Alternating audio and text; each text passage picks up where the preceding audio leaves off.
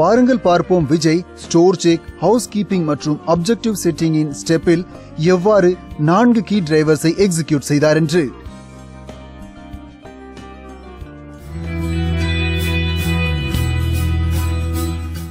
அட ஷிகக்காயோட பேக்கு தனியா வைக்கப்பட்டிருக்கே. இது குப்தா ஐயா கிட்ட சொல்லி இது சோப் கேட்டகரி ஷெல்ஃபில் வைக்க சொல்லணும். குப்தா ஐயா கிட்ட இது ஆல்ரெடி அக்ரீடு தான். இங்க சோப் கேட்டகரியில நமக்கு குறைஞ்சது பன்னெண்டு ஃபேஸிங் வைக்கணும் அப்படின்னு. நான் இன்னைக்கு அதன் அடிப்படையில ஸ்டோக்கை அலங்கரிச்சிடுறேன். அப்ப நான் இங்க எப்படி இந்த ஸ்டோக்கை அலங்கரிக்கிறது? இதன் மூலமா பன்னெண்டு ஃபேஸிங் இங்க வரணுமே. அப்ப இங்க எனக்கு கோத்ரேஜ் நம்பர் ஒன்னின் ஏழு ஃபேஸிங் சிந்தாலோட மூணு ஃபேர் க்ளோவோட ஒன்று அப்புறம் ஷிகக்காயோட ஒரு ஃபேஸிங் பண்ணி ஆகணும்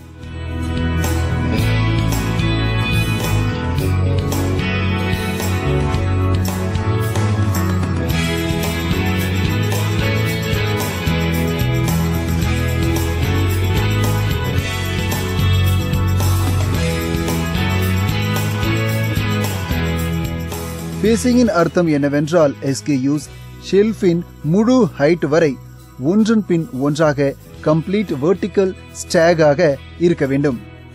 இங்கு பாருங்கள் இங்கு ஒவ்வொன்றாக எஸ்கேயூஸ் ஒன்று மேல் ஒன்று ஷெல்ஃபில் முழு ஹைட் வரை வைக்கப்பட்டிருக்கிறது. ஒவ்வொரு ஃபேசிங்கின் பின்பக்கமாகவும் அதன் வேரியண்டை முழு ஷெல்ஃபில் பின்பக்கம் வரை வைக்க வேண்டும். இதன் மூலமாக சரியான டெப்த் கிடைக்கும்.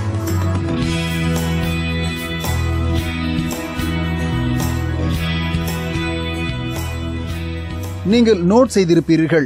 சில எஸ்கேயூஸின் ஹைட் முழு ஷெல்ஃபின் ஹைட் வரை இல்லை என்று. இப்போது விஜய் தனது ஆக்ஷன் மூலமாக ஃபேசிங்காக இடத்தை செய்துவிட்டார். அவர் ஷாப் பாய் சந்துவை கூப்பிட்டு நாளைக்கு ஸ்டாக் வந்தவுடன் ஒன்றன் பின் ஒன்றாக முழுவதுமாக வைத்து எஸ்கேயூஸை அலங்கரித்து ஃபேசிங்கை கம்ப்ளீட் செய்ய வேண்டும் என்று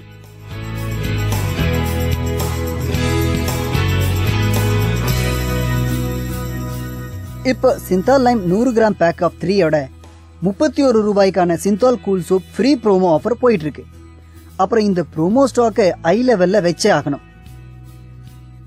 ப்ரோமோ ஸ்டாக் மேல நுகர்வோரின் அதிகப்படியான இம்பாக்ட் படணும். அதனால எனக்கு எல்லா ப்ரோமோ ஸ்டாக்கையும் ஐ லெவல்ல வச்சாகணும்.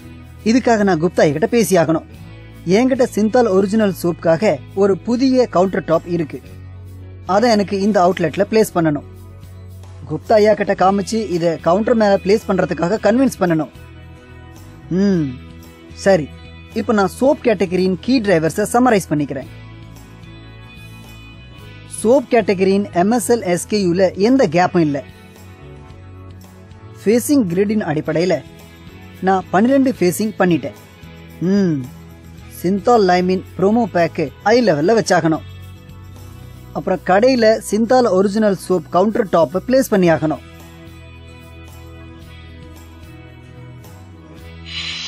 வாருங்கள் இப்போது நாம் நமது குரூப்பில் டிஸ்கஸ் செய்வோம் அவர் எதை சரியாக செய்தார் எதை சிறப்பாக செய்திருக்கலாம் என்று.